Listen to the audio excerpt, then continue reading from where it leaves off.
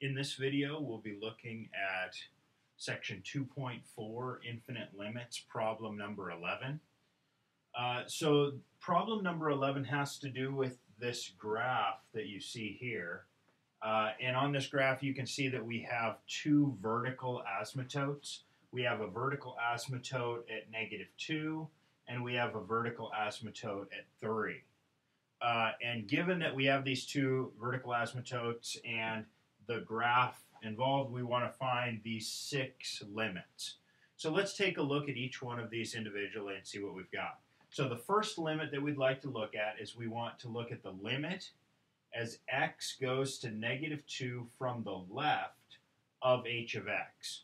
So negative 2 is the x value here where we have this um, vertical asymptote. And we want to approach negative 2 from the left side. So from the left side, we're coming at negative 2. And as we come towards negative 2 from the left, we're getting closer and closer from the left side. And you can see that this graph is heading off to negative infinity.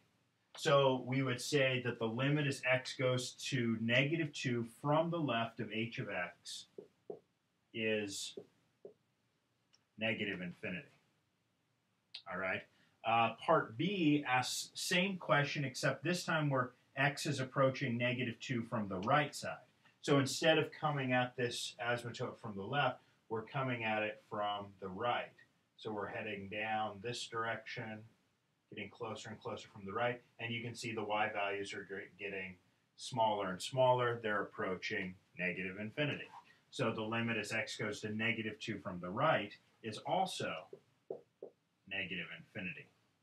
And since the limit as x goes to negative 2 from the left is the same thing as the limit as x goes to negative 2 from the right, then we can say that the limit as x goes to negative 2 of h of x is in fact negative infinity. Okay? Uh, now let's look at uh, part D. Part D is asking what's the limit as x goes to 3 from the left of h of x. So now we're approaching 3 from the left.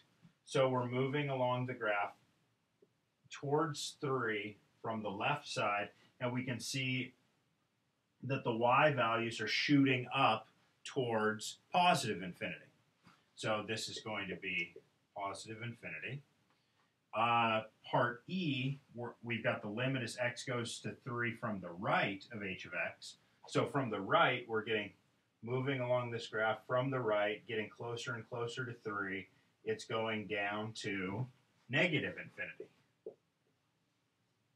And finally, part F asks what's the limit as x goes to 3 of h of x? And that limit exists if these two values in D and E, the left-hand limit and the right-hand limit, are exactly the same. In this case, they're not the same. One's positive infinity, one's negative infinity. So we would say that this guy doesn't equal anything. This limit does not exist. All right, so uh, we were able to figure out left-hand limits and right-hand limits for both of these. Uh, vertical asymptotes, negative 2 and 3. One of them, the limit does exist because the left-hand limit and right-hand limit agree. One, it does not because they don't.